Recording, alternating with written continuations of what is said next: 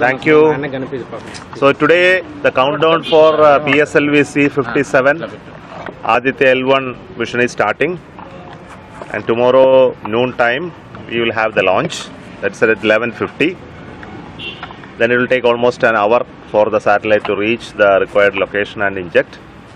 Uh, so the Aditya L1 satellite is for studying our sun and uh, it will take 100, another 125 days 125 days to travel from earth to reach the point where the satellite will look at sun the l1 point.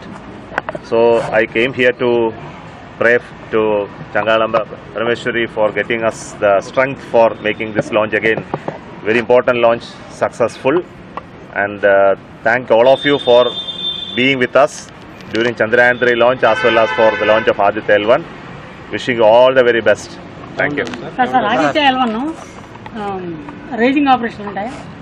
Yes yes ఎన్ని raising happen after launch countdown expected temperature countdown countdown is starting today at eleven eleven fifty what will be the expected temperature temperature is no difference it is like an earth orbit Chandrayaan ఫోర్కి సన్నాహాలు చేస్తున్నాం.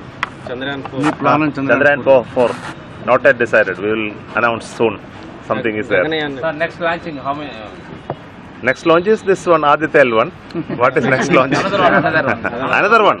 After that, after that launch is uh, launch. Gaganyaan launch will be a test vehicle launch. So it is getting ready. So that will happen mostly by October, uh, first or second week.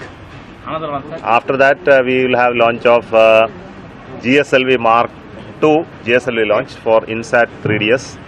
Then we will have launch of SSLV D3. Okay. Then again we will have launch of PSLV then we will have launch of GSLV Mark 3. Like that, it will continue. na? Pragyan thank you, thank you, sir. Pragyan rover, are Huh? Pragyan rover. Abhi, ab, ah, it's working very well. Uh. Working very well. You have seen the video, no? Yes. Ah, yes it sir. is moving around the moon, doing rotations, measurements everything is everything is working very well. So it will go till 3rd uh, september. Everything will work till 3rd september